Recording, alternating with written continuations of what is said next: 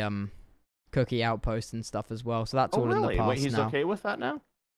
Yeah, yeah. He promised me a good life. Like what do you mean? Was your life not good before? no, no, no, no, no. What? He talked a lot about L'Manberg and like he, Well, yeah. That wasn't that wasn't really that much of a good life for you though, was it? Oh no, y- you've only heard the bad bits of L'Manberg. L'Manberg was amazing.